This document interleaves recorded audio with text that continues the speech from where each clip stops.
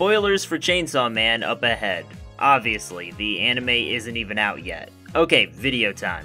So this video is actually kind of special to me because a while ago I already made a video on Makima's powers. In fact, it's the second video on this channel. It was a little theory video based on what we'd seen at that point in the series, trying to figure out how her powers worked. However, then those powers got explained with a lot of stuff I said in it being quickly proven wrong. So yeah, please don't watch that video. It's really outdated and honestly pretty bad in terms of production value. In fact, the reason I'm even making this video is because people keep watching that fucking video. And I keep getting people going into the comments section trying to explain to me how her powers work.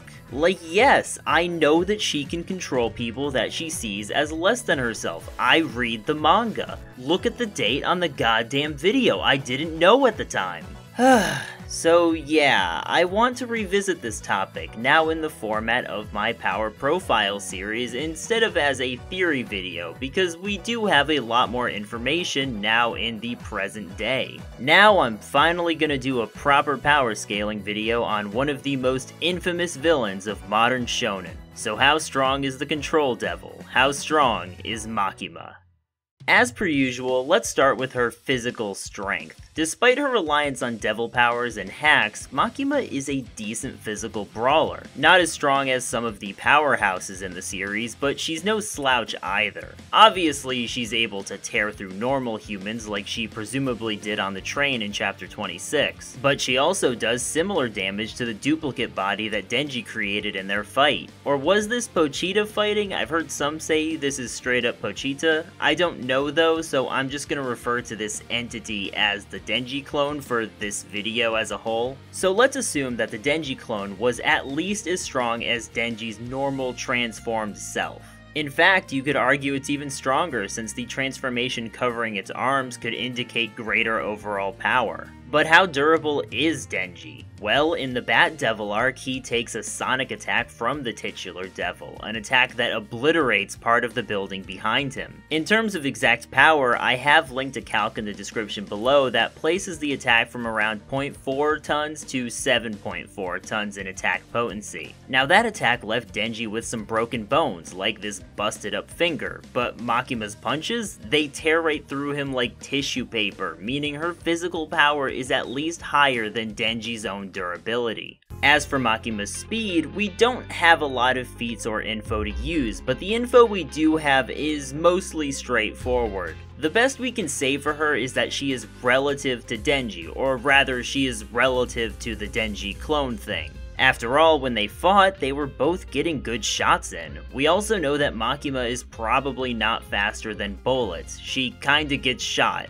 a lot. Like, yeah, the first time was to the back of the head, solid excuse, but what about Kishibe's squad? The only excuse she has there is being minorly surprised. However, this slowness ultimately makes sense. She doesn't really have any supersonic feats anyway. The best we can really say is that she is probably somewhat relative to Denji. So how fast is Denji? Well, not that fast really. I mean, he's probably faster than your average human. He's implied to be able to keep up with Kishibe in base form, and Kishibe is abnormally strong, even without the use of devil contracts. But Denji also isn't that fast. Like sure, he was able to beat Katana Man and Reze, who have much greater speed. But he never really beats them by outspeeding them or even matching their speed. He gets tricky and outplays them, catching them off guard. So with all of this taken into account, the best we can really argue is that his and Makima's speed is somewhere between peak human and sonic speed. Makima's durability is also pretty straightforward. She is not very durable at all. She really doesn't have many durability feats, but she has a ton of anti-feats. Like sure, I expect the Gun Devil and the Darkness Devil to be able to hurt her, that just makes sense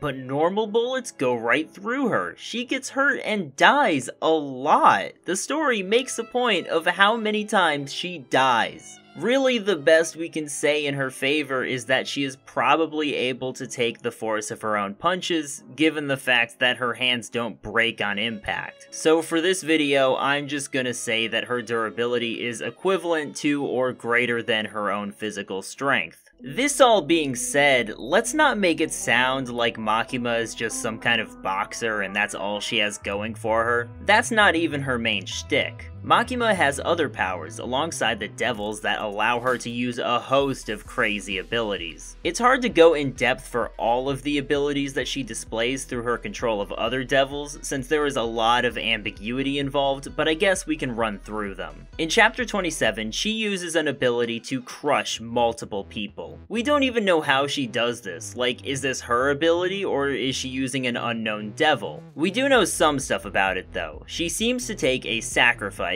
make them say their name, which she does with her control powers by the way, and then she puts her hands together in some form. There also seems to be the unexplained factor of higher altitude translating to effectiveness, but I don't know how scaling this would work.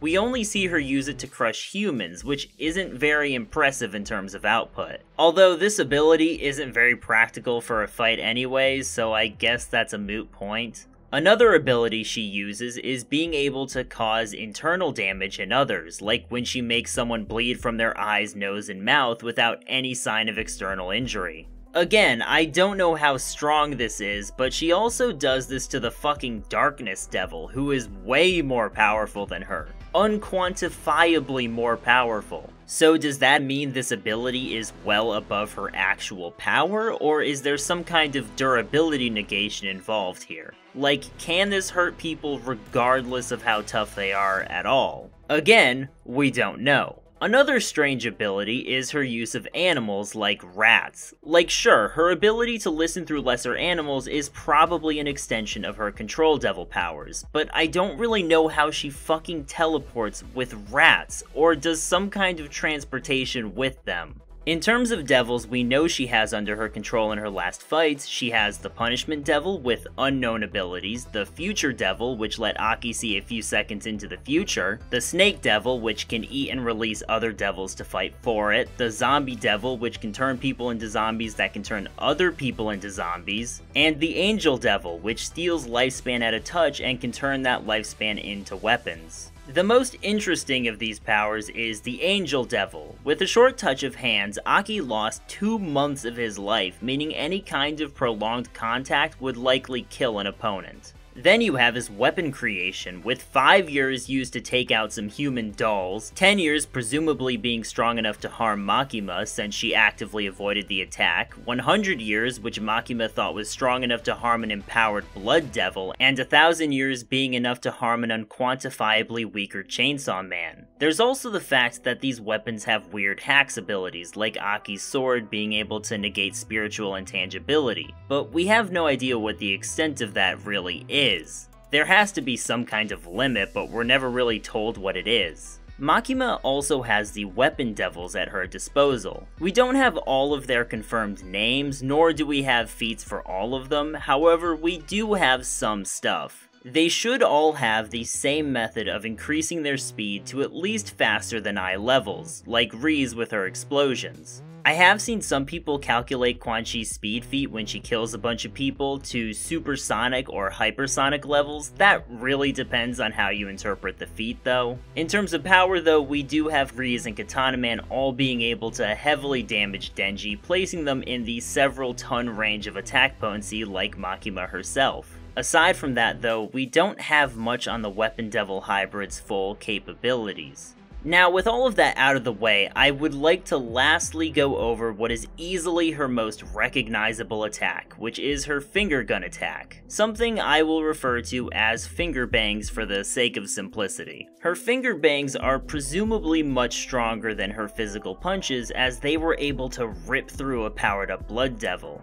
In fact, power in this state was so strong that Makima was seemingly no longer able to exert control over her. I think what's happening here is Power's display of strength made it so Makima wasn't able to see Power as lesser than herself anymore. But how powerful are these finger bangs? Well, we don't really have any great feats that explicitly show their power in a quantifiable way. However, we do have some nice narrative tools to show the disparity in power. Remember those weapons the Angel Devil can make? Well, Fujimoto seems to be telling us with these weapons how powerful certain characters are compared to each other. The Angel Fiend felt that 10 years was enough to damage Makima and she actively avoided this attack. Later, Makima creates a weapon of 100 years lifespan against the empowered Blood Devil with the idea in mind that this would be enough to sufficiently damage her. From this, it seems that we are being told that this version of power is roughly 10 times stronger than Makima in terms of physical toughness.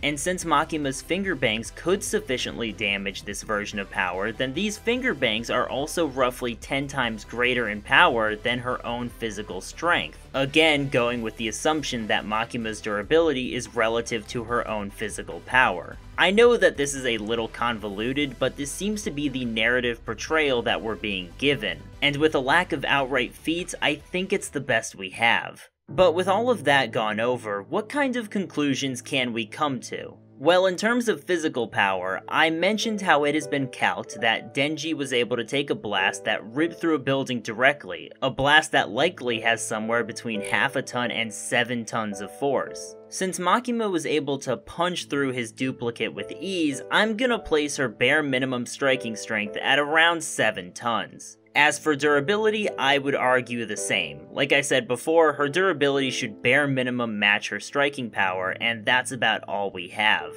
As for speed, the best I could really give Makima is a combat speed upwards of maybe 60 meters per second. I know that's pretty low, but hear me out. I'm just talking about her own physical combat speed. As discussed, some of the devils she controls are far faster. That's just a fact. But in terms of her own speed, she's kinda featless. The best we have for her is decapitating a base form Quanxi and fighting evenly with the Denji duplicate. If you personally want to argue for faster than eye speed, go for it. I'm just giving what I think is a reasonable minimum. Where things get interesting with Makima are her various abilities she has from her own powers and the powers of other devils. From her own power, her finger bangs probably generate upwards of 70 tons, as like I said, around 10 times her own strength. She has possible durability negation with her internal attacks, although that's unconfirmed. Then there's that weird ritual thing to kill people from afar. Then, with her controlled abilities, she can absorb beings to fight for her, see a few seconds into the future, create zombies, and she can make weapons that are capable of harming her or weapons presumably 100 times stronger than that. And probably even more weapons that are stronger than even that. Then we have the Weapon Devils, which are capable of producing greater power and speed than Makima's own body, with a variety of damage forms, from cutting and piercing attacks to explosive and fiery attacks. Oh yeah, and I also went this entire video without even mentioning the fact that all attacks against her are transferred to a Japanese citizen. And Japan, as of 1997 when the series takes place, had over 126 million people living in it. So even if she does have pretty garbage durability compared to others, it doesn't really matter since conventional forms of damage are pretty much useless against her. And that's the video. I think I somehow managed to cover everything. Holy shit, does she do a ton of stuff in the course of over 90 chapters, but I think that's everything. Anyway, I hope you enjoyed the video. If you want more power profile videos like this in the future, do be sure to like and subscribe. Also be sure to comment down below your own thoughts, whether you disagree on how I did something, or if you think there's something I missed, or anything else really. But that's everything from me, so with that, have a good one and take care.